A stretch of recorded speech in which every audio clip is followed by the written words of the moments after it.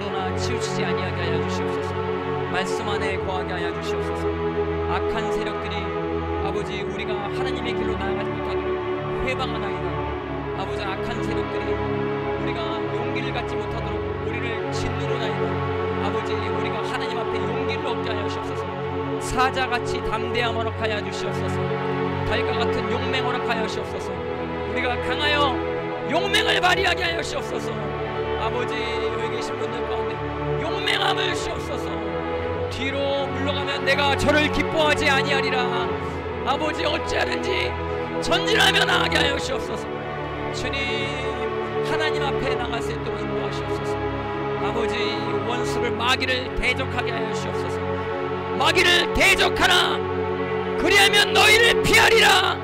주님 우리가 하나님의 영광 앞에 나가게 하여 주시옵소서.